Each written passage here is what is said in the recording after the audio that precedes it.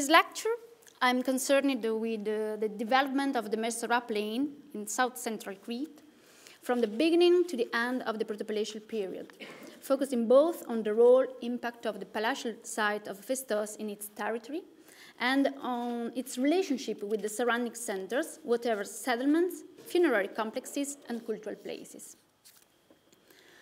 The protopalatial period corresponds to the 19th, 17th century before Christ and relates the period of the so-called first palaces. My purpose is that of reporting the changes of the Mesara plain from the foundation of the Phaistos Palace to its destruction, focusing not only on the period of the first palaces, but also on the periods immediately before and after it, that are respectively MM1A and MM3. In this presentation, I will concentrate on the protopalatial period, since recent revisions of settlement and funerary complexes of the Mesara plain have indeed provided finer chronological divisions for the period, allowing us to follow changes in shorter time spans. Moreover, since the protopalatial period is often considered as a monolithic period, I will, like, I, I will, analyze it as composed by three different phases that are MM1b, MM2a, and MM2b. In this way, observations on the variation and developments from both of Phaistos and of its surrounding area throughout the entire period can be made phase by phase, and in particular, I will consider the following centers of the Western Mesara plain. The coastal settlement of Kommos, which is 8 kilometers southwest to Phaistos, the center of Agia Triada, which is only 3 kilometers northwest of Phaistos and is composed by a settlement and the funerary area, the funerary complex of Camilari, which is about 2 kilometers southwest to Festos, and the Kamares cave, which is located on the slopes of the Mount Ida, just north to Festos. Let's first focus on the time of the foundation of the palaces. Recent studies have suggested that the first Minoan palaces are architectural developments that began in the early Bronze Age, and thus that the emergence of the first palaces in MM1b cannot be considered a sudden event. The palaces have been interpreted as complexes which have developed over a long period of time and along the lines of earlier structures and spaces, such as the central courts. The central courts were used for the same communal practices from the early Bronze Age and even from the Neolithic period. This is indeed the case for, Mal uh, for Malia, where Olivier Pelon identified an early Minoan to be court that he associated with a court-centered building, and where, as demonstrated by Ilse Schoep, in the protopalatial period, the main agents of change were located outside the palace, such as Quartier Mu, Crypte Hypostyle, and Magasin Dessenne. In the case of Knossos, Colin MacDonald has recently suggested that it is conceivable that the palace of Knossos, uh, quote, was a long project that lasted for generations, punctuated by distracted episodes, notably in MM1b, and reaching a conclusion in MM2a, end of quote. But he also remarked that the first palace at Knossos was far too large to be considered only a building serving a central court of ceremonies, end of quote. And what about Festos? Let's now turn to the case of Festos. Recent studies by Simona Todaro have demonstrated that early Minoan tree is an important phase that incorporated large-scale works of leveling and the creation of open courts for ceremonial activities. According to Todaro, the construction of a court-centered building at Phaistos dates back to early tree. The following MM1A phase, that means the last phase before the construction of the palace at Phaistos, is still well represented by the use of the same leveled areas, but it is not possible so far to see how the architectural remains of MM1A were located in the areas of the future palace.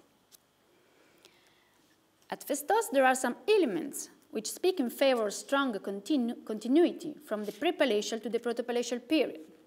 First, the first is the use of the same court to perform the same ceremonial and aggregative, aggregative functions that characterize the prepalatial period.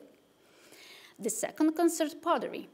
Indeed, in the late prepalatial period, that is MM1A, at Phaistos we find pottery groups that are stylistically and typologically similar to those of the early protopalatial period, to judge by the foundation deposits of the palace dated to early Minoan B.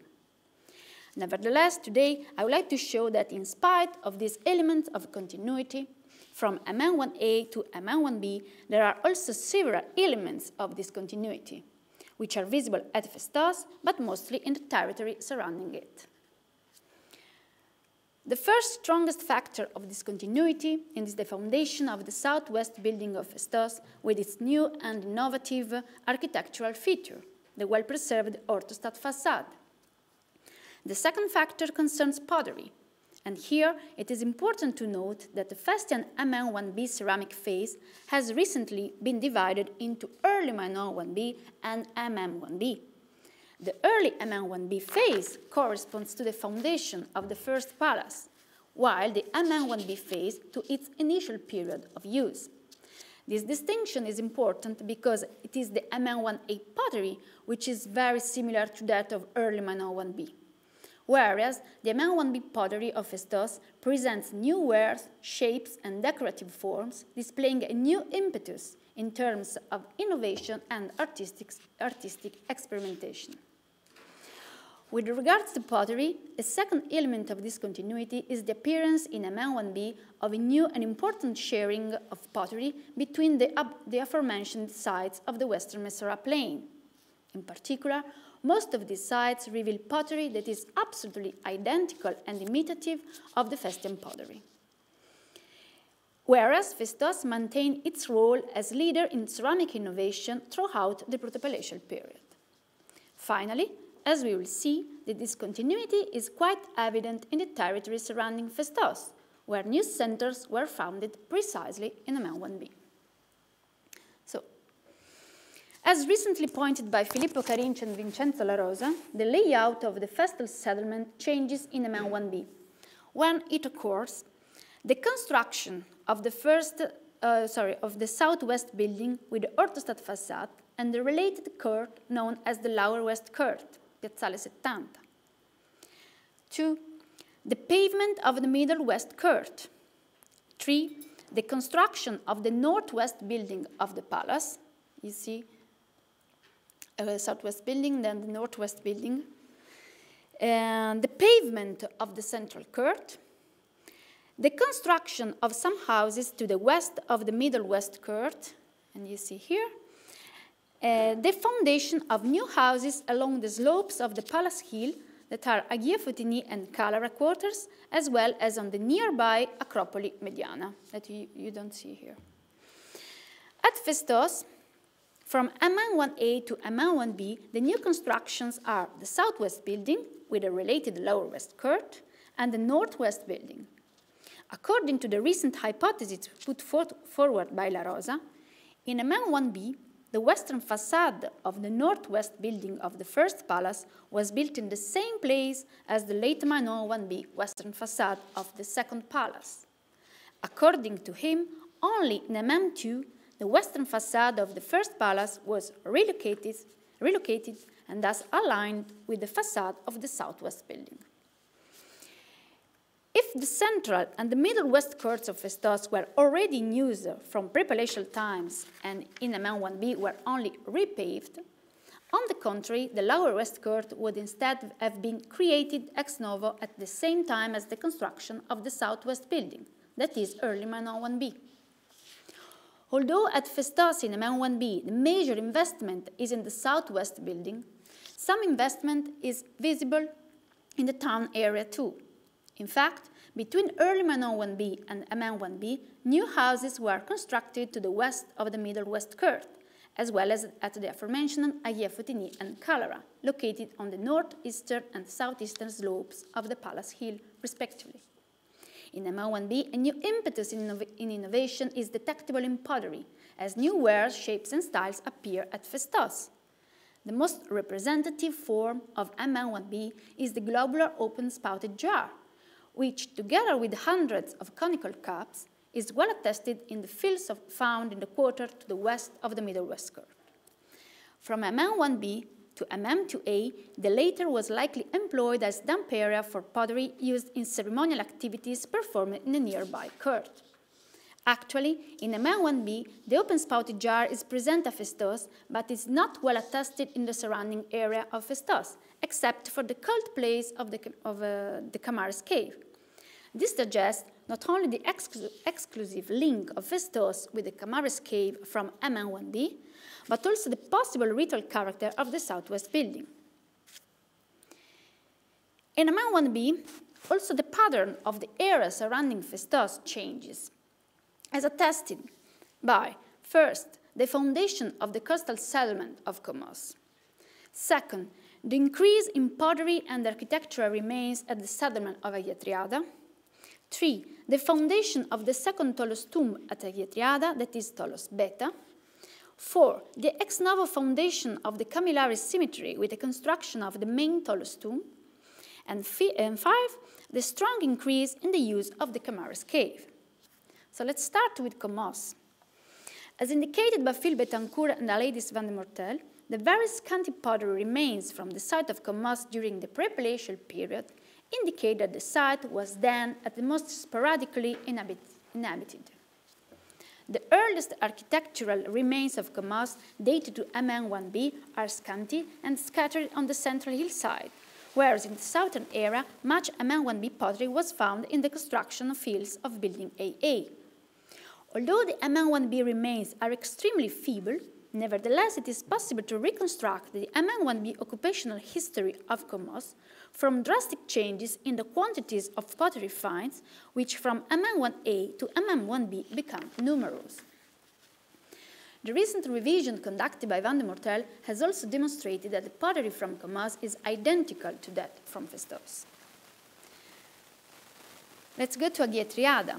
La Rosa excavations revealed the existence of scanty MM structures and of several ceramic deposits, which are mostly dumps. It is difficult to recognize the layout of the MM1B sediment at Agiatriada, but on the basis of the location of the ceramic deposits within the site, it is possible to gain information about the sediment.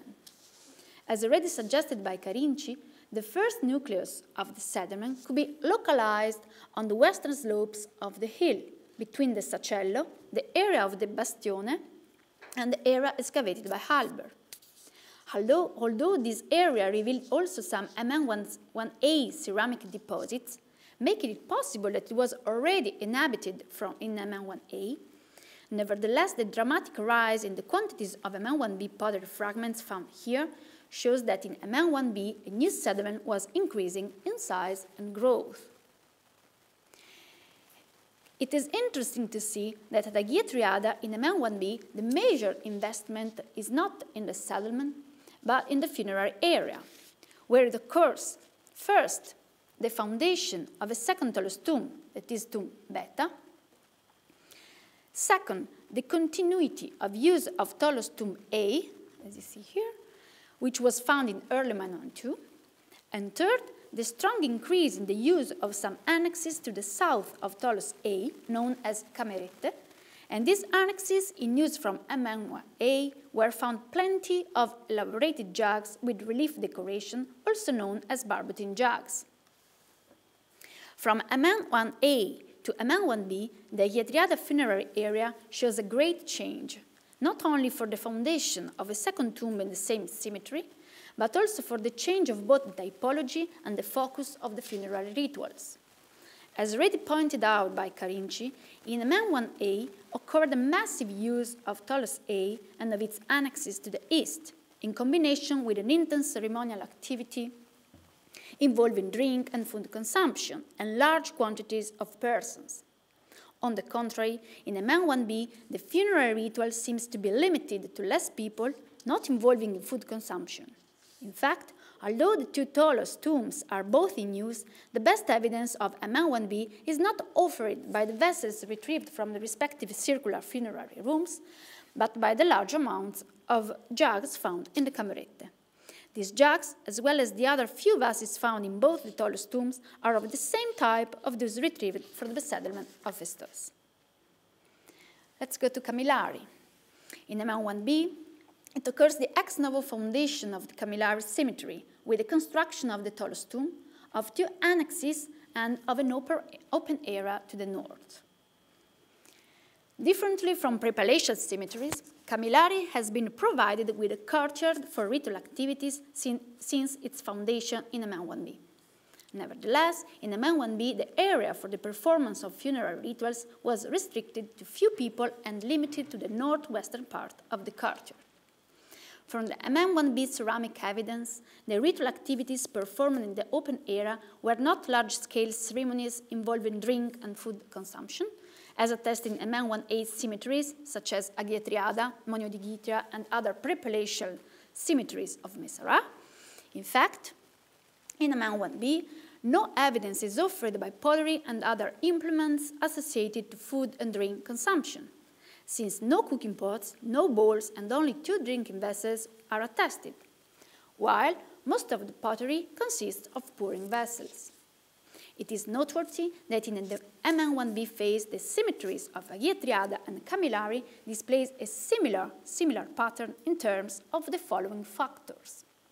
First, in MM1B, Camilari and the Triada are the only known sites of the Mesara plain showing new foundations of Tholos tombs.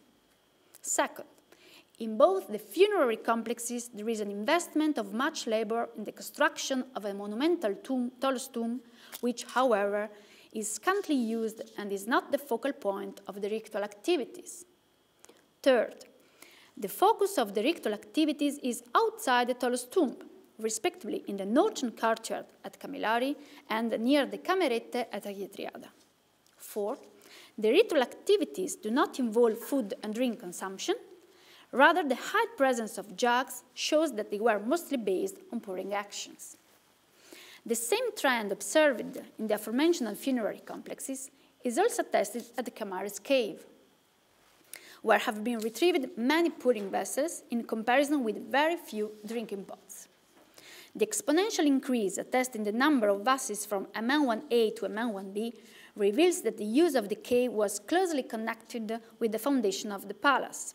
In fact, it is the only place that shows typologies of vases otherwise attested only at MM1B Festos, such as the aforementioned globular open-spouted jars. Let's draw some preliminary conclusions about the MM1B phase in the Western Mesara plain. First of all, it seems that it seems clear that in MM1B, a leap to monumentality occurred at the Festos site with the foundation of the southwest building and with the appearance of a new architectural innovation, namely the orthostat facade.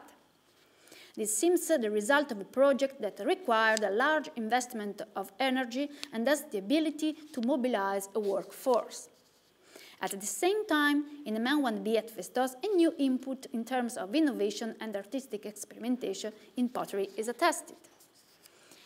Second, we may safely conclude that the increase in the amount of pottery retrieved from Kommos, Agia Triada, and the Kamares cave in MM1B reflects a significant increase in pottery depositions. This, in turn, indicates that both the settlements of Agia Triada and Kommos experienced a rather sudden, significant expansion in MM1B, and that the, at the Kamares cave occurred an impressive increase in its use and frequentation. The survey conducted by Watrous and Hadzi-Vallianou had also revealed an increase in number of new sites in MM1B. Third, in MM1B, we observe a new investment in the funerary complexes near Festos, with a foundation of new tombs at Agia Triada and Camilari, whereas the majority of the Mesara cemeteries with Tholos tomb went out of use or into decline precisely in MM1B, or else changed their function from burial to cult places. Finally, together with these new building operations occurred in the cemeteries of Agia Triada and Camilari, a substantial change in ritual practices is clearly, is clearly visible in both the funerary complexes. This makes it clear that in MM1B a new type of ritual behavior appeared, not in line either with the funerary activities of the previous period, that is MM1A, or with the communal ceremonies performed in the Festos Palace, which were both based on drink and food consumption. This suggests that in MM1B, the communities investing in the two funerary complexes of Camilari and Agia Triada were somehow more independent from the Festan community in comparison, for example, with nearby Kommos, which displays the same material culture as Festos from the time of its foundation onwards. The case of the Kamares cave in MM1B is less clear. On the one hand, the ceramic evidence speaks in favor of a strong and exclusive connection between the cave and Festos. On the other hand, the ritual activities performed there do not seem to imitate the palatial ones. Now let's look at the MM2A phase in the Western Messara Plain. At Festos, MM2A is an important phase due to the following series of innovations. First, new architectural alteration variation in the southwest building. Second, the appearance of new wares, shapes, and decorative forms. Third, the appearance of the wheel throwing technique. Concerning the southwest building, in MM2A, it goes through architectural and functional transformation, which includes some alteration of the access system and of the internal circula circulation patterns. According to Carinci, the southwest building was provided with a new and second access from the lower west court through corridor 50. I have already suggested elsewhere that this change could be due to the need for more effective control of the building, likely connected to new groups attending it. With regards to pottery, in MM2A appears new ware such as the polychrome buff reserved surface ware and the creamy coated ware that are well attested at Festos, but which occur with only few fragments at Agia Triada and Kommos. These wares are also almost entirely absent in the funerary complexes of Camilari and Agia Triada and in the other cemeteries of the Western Messara Plain. In terms of shapes, we might point out the elaborate three-handled jugs in barbotine ware or in polychrome on buff reserved surface ware, which present peculiar profiles that imitate metallic prototypes. The recent study I have undertaken on the technology of protopalatial ceramic from Festos allowed me to confirm that a new forming technique was introduced in MM2A, when appear some buses that are entirely manufactured through the use of the wheel throwing technique. Uh, these entirely wheel thrown buses are represented only by some shapes produced in those specific wares which appeared in, at MM2A Festos. They are the following. First, handleless conical cups in fine plate ware. Second, cups in fine dark and light ware. And third, cups and spouted jars in polychrome buff reserved, reserved surface ware. Considering the contemporary occurrence at MM2A Festos of the introduction of an innovative forming technique, that is wheel throwing, and remodeling of the southwest building, we cannot exclude the possibility that the forming technique was introduced by new groups attending the Festian building. Although the MM2A phase in Crete remains unknown or is simply not easily stratigraphically identifiable, I will nonetheless try to see how this phase is represented in the center surrounding Festos. Let's see Kommos. At Kommos, the architecture remains datable to MM2A RFU. Nevertheless, there are many points in the, in the site revealing ceramic deposits which contain MM2A pottery. Together with some deposits found by Betancourt in the central hillside, the MM2A pottery was found in large quantities in the construction fields of the building AA, which were studied and published by Van de Moortel. According to her, the building AA was found in MM2B. Nevertheless, my last revision of MM2A ceramic deposits at Festos has permitted me to date the last pottery found in the construction fields of the building AA to MM2A. MM2A making it probable that the building AA was constructed during MM2A or at the beginning of MM2B. Concerning the settlement of Agia on the basis of the scanty MM structures and of the scarce MM2A ceramic material which is attested at the site, it is difficult to garner an idea of the layout of the settlement in this phase. Also for the funerary area, we have the same difficulties. Because of the lack of publication of the necropolis, the ceramic evidence of MM2A from the Agia Triada funerary area is really difficult to find out. Nevertheless, it seems that from MM2A, the Agia Triada cemetery begins its decline. Indeed, both the Tholoi A and, A and B have revealed only few vases which could be dated to MM2A or more generally to MM2. whereas the Camerette have not provided MM2 vessels. Concerning Camilari, in MM2A, the quantity and the distribution of the pottery suggest an increase in the use of the symmetry. We also observe an increase in drinking pots and the appearance of a new pouring vessel that is the bridge-spouted jar.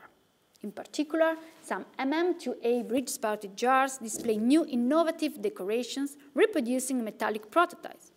It is noteworthy that the appearance at Camilari of these new forms with impressive or incised decoration imitating metalwork follows the same trend attested at Festos from MM2A. From the recent uh, study by Van de Moortel, it is clear that the Kamares cave goes on to be used in a significant way from MM1b to MM2b. Indeed, looking at the table where she reports the number of vases from the cave for each period, one sees that from MM2, the Kamares cave experienced an increase in use and frequentation. So looking at the, at the western Mesara plain in MM2A phase, we see that the Festos Palace continues the process of monumentalization that began in MM2, in MM1B, alongside with new experimentation in pottery technology. At Agia Triada in MM2A, the pattern is not clear, whereas at Kommos and the Kamares Cave, the increase in the amount of pottery seems to indicate an expansion in size and or in use. Moreover, the new shapes that appeared at Camilari, such as the bridge spout jar, show the adoption of ceremonial sets used at Festos, suggesting a social strategy of imitation and emulation of ritual performances acted out in the communal areas of the Festos Palace. Festos still maintains its role of an innovative leader in pottery, producing new wares and shapes not always attested elsewhere, but frequently imitated by all the Mesara centers. From MM2A, the stronger influence of Festos on the material uh, culture of the nearby centers, such as Kommos and Camilari, is attested, making it likely that its growth and consolidation already began in MM2A and not in MM2B as suggested by some scholars. Let's go to the MM2B in the Western Mesara plain. It is not possible to ascertain exactly the time of the last works of monumentalization that occurred at Festos. Nevertheless, in an unspecified period between MM2A and MM2B, some urban and architectural changes occurred at the palatial site. These works involved, first, the relocation of the facade, facade of the northwest building, with the addition of a new orthostat facade implying an enlargement of its storage facilities. Second, the construction of the four kouloures, the deep circular pits common in all the Minoan palaces. Third, uh, the raising of the level of the middle west court, together with the addition of the sideways. Four, the construction of the theatre area. And five, the construction of the monumental propylaeon second, which allows access from the northern to the southern area of the site, as well as from the middle west square to the interior of the palace. The works that occur in the southwest building were mostly devoted to a better connection of this building with the northern area of the palace, and especially with the middle west court, According to Carinci, the monumentalization of the Middle West court was fundamentally due to the need for imitation of the classic model. This phase of the palace monumentalization corresponds to growth at Kommos, at Agia and in the funerary complex of Camilari. As already stated, the construction of building AA at Kommos took place between MM2A and MM2B, Although little foundation remains of building AA are preserved, according to the excavators, the building was completed by MM to B and then destroyed by the same earthquake which destroyed both Festos and the Triada. If the building AA was constructed from MM to A to MM to B, as I believe, that means that the aforementioned transformation occurred in the palatial site of Festos and the construction of building AA at Kommos could be contemporary. As well pointed by Van Moortel, the amount destruction levels of Kommos have revealed ceramic material which is still identical to the Phaistos production, although some peculiar and elaborated buses well attested at Festos are not present in MM2B COMOS. at the Triada, the majority of the ceramic deposits found here, which mostly consist of fields, contain ceramic material dated to MM2B. The pottery records suggest that the Agia Triada sediment has increased in size and importance.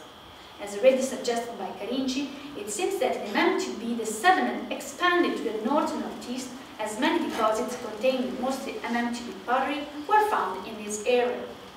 Nevertheless, when the size of the sediment starts to grow, the necropolis is already declining. This is demonstrated by the fact that in MM2B only few vases from the Tholos tomb A have been found. It is also particularly interesting that in the same period as the growth of the sediment, the area between the necropolis and the sediment went through several transformations. Indeed, as presented by La Rosa in 2001, a new function of this area seems to be associated with a paved rectangular space constructed to west of the Cameretta. A rectangular stone with small hollows, which could be an offering table, kernos, was found in its center. This space has been interpreted by the excavator as a sacred and public space, which in my opinion could be specifically linked to worship of ancestors buried in the no longer used necropolis. And what happens at Kamilari? In an to be, the Kamilari symmetry is characterized by a strong increase in the use of symmetry, attested by the foundation of a new tomb that is Milona Lacco, it is located 200 meters northeast to the first and main tomb. By the expansion of the occupied areas towards east, by the explosion in ceramic material that consists mostly of pouring and drinking vessels, as you see here. And, we can see that the Kamilari symmetry in an MTB is also characterized by new ossuaries that are uh, rooms theta and delta, and new rituals in association with the relocation of bones, mainly connected with new interest in ancestor worship. And finally, by the installation of a slab altar in the courtyard. For MM2B, the evidence suggests a spatial and functional differentiation of the spaces outside of tomb, where there are areas exclusively, exclusively linked to mortuary feasting, and others used mainly for non-funerary activities, likely connected to the worship of dead ancestors. So it is evident that in MM2B, a big explosion in wealth with a strong involvement in monumentalization is attested not only at Phaistos, but also at Kommos, where the site is provided with a monumental building AA, at Agia Triada, with a dramatic rise in pottery in the settlement and a new paved space in the area between the settlement and the necropolis, which has already gone out of use. At Kamilari, with the construction of a new tholos and the equipment of two ossuaries and of a slab altar. And at the Kamares cave, which goes on to preserve an exclu exclu sorry, exclusive link with the palatial site of Phaistos, as attested by the presence of peculiar vases that are the stamina jars well attested only in the palatial site, as demonstrated by Van de Moortel. And what happened with the earthquake at the end of MM2B that destroyed most of the sites in the western Mesara plain?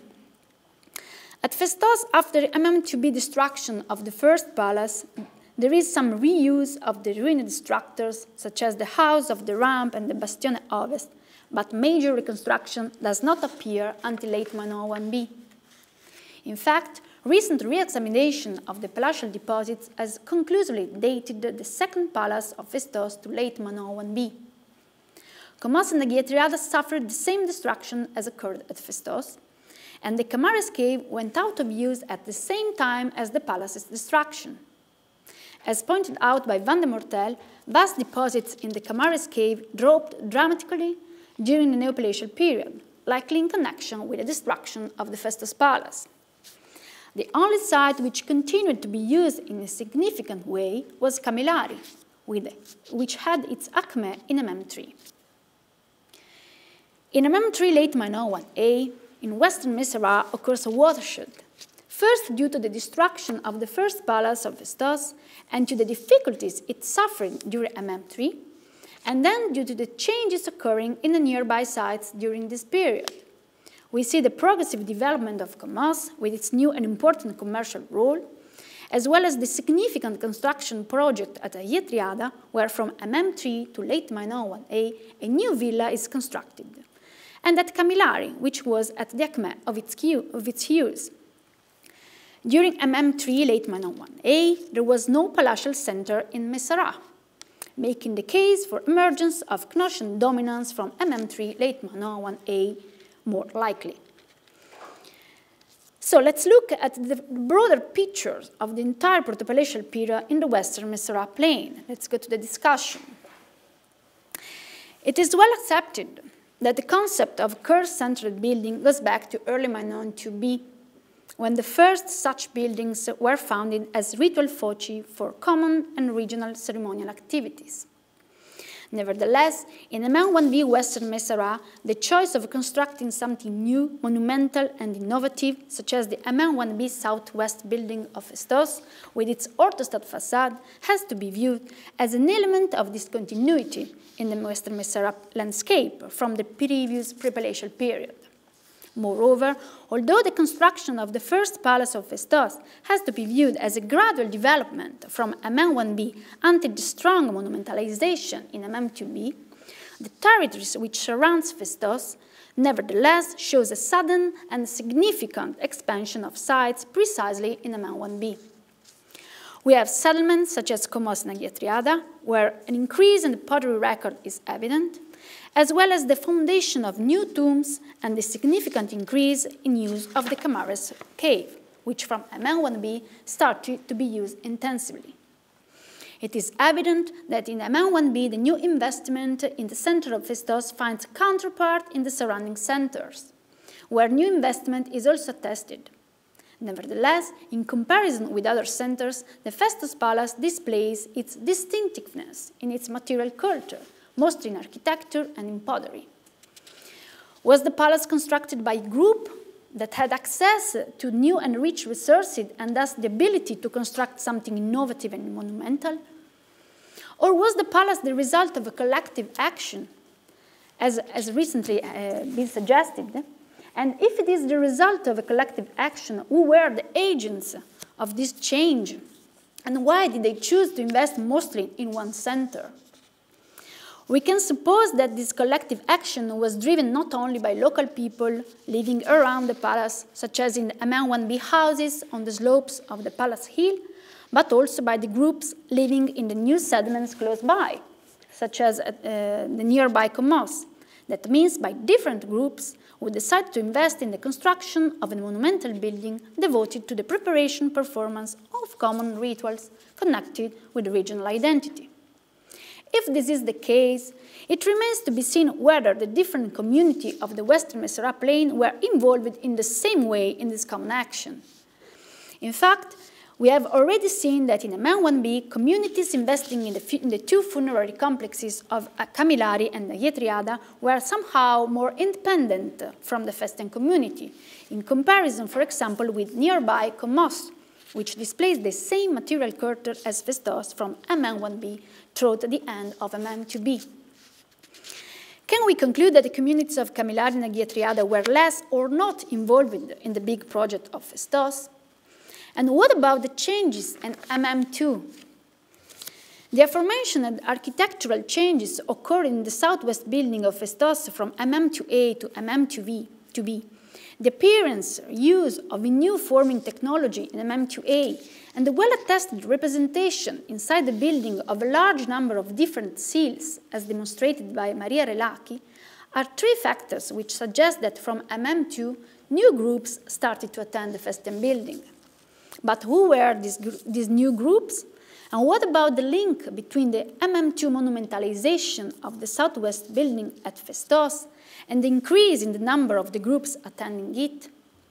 If many groups of the region were involved in the monumentalization of Phaistos, we are yet to understand how this center was administered, whether the MM2 monumentalization was driven by local groups living in a northwest building of the site or on the slopes of the Palace Hill, leaving the regional groups to be involved in a different or lesser way, and what the relationship between the local groups and the other regional and more distant groups attending it was, and what degree the various communities were involved in the palace activities. In particular, it remains to be understood that the relationship of Phaistos with the growing, the growing communities of Kommos and and Kamilari, which from MM2A, MM2B display a material culture that is identical or imitative of the Phaistian one.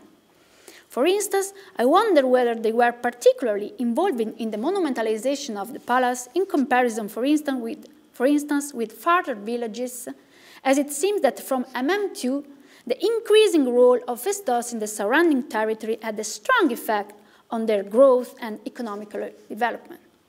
And still, I wonder whether the near sites of Agia Triada and Kommos were so involved in the MM2A, MM2B works occurring inside the palace as to become successors in the period which followed the destruction of the first palace of Phaistos.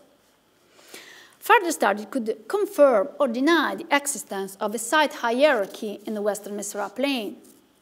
Anyway, it is interesting to observe that, that most of, the, of these sites, whatever settlements, cultural places, and funerary areas, follow the same trend of the palace. That means leap to monumentality and a sudden explosion in pottery quantity in MM1B, and then a gradual growth during MM2B, until the end of this phase, when a strong earthquake caused the destruction of most of them. This trend is well visible at Kommos, in the sediment of Agia Triada, and at the Kamares cave. Different cases are represented by the funerary areas. Indeed, Agia Triada started its decline in MM2, while Kamilari reaches its acme in MM3.